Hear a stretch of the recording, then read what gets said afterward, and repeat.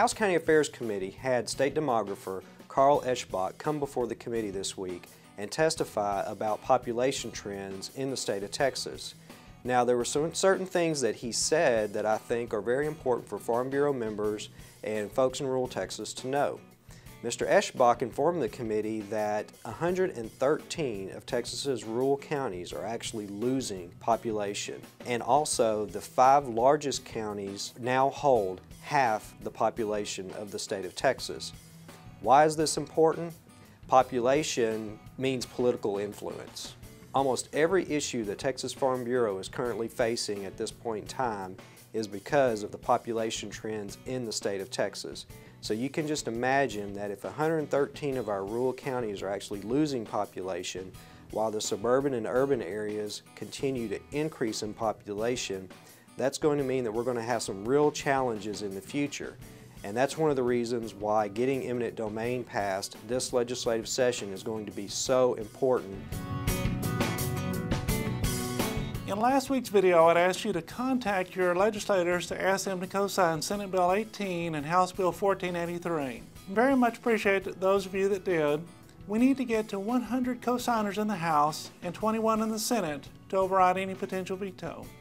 We already have eight senators, and that's terrific, although we still don't have much response in the House. I'd still like to encourage you to go ahead and contact your legislators, and an easy way to do this is utilize the CapWiz program provided by Farm Bureau. Go to the homepage of Farm Bureau, and that's txfb.org, and it's at the top right of the page. Or if you're viewing the video right now on the Farm Bureau site, it's just above this video. Click on the link, it will take you to Action Alert. Please co-author eminent domain reform. Click on that link and follow the simple instructions. If you do have difficulties, we do have detailed instructions on how to do this on last week's video Capitol update. On the bottom right of the video is a box and it reads More Video. Click on that box and then click on week 6 of the video update and follow instructions provided by Billy Howell. I told you last week that I'd come back and visit with you on a meeting that I had planned with the new House Transportation Committee Chairman Joe Pickett from El Paso.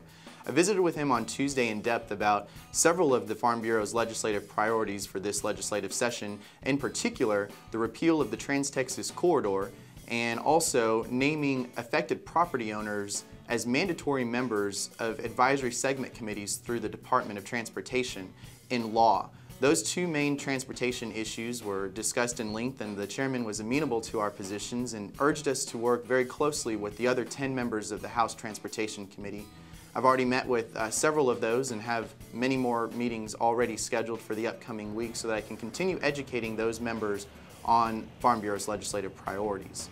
House Bill 979 by Representative Eddie Lucio III from San Benito and House Bill 1427 by Dwayne Bohac from Houston deal with establishing a biomass ethanol motor fuel tax exemption.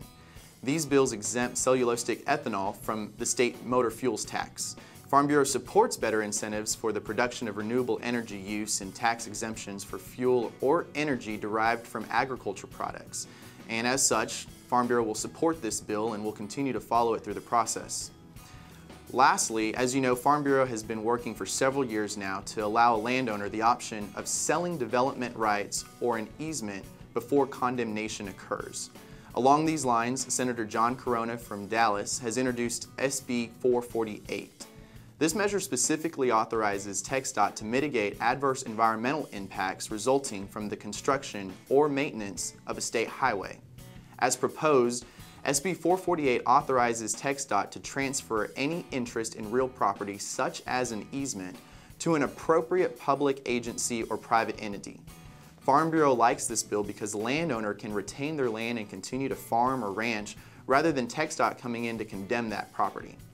Well, one Transportation Committee member, Senator Eliot Shapleigh from El Paso, has raised a concern with the term appropriate and feels that it should be better defined before the bill is further considered.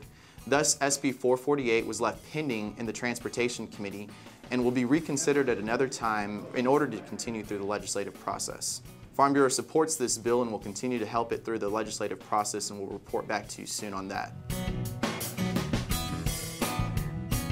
Had our first Agriculture Committee hearing in the House in Austin this week. Uh, Commissioner Staples testified on behalf of the Texas agriculture industry in the Department of Agriculture. Uh, went through some of the challenges that we have and some of the opportunities that he sees us having down the road.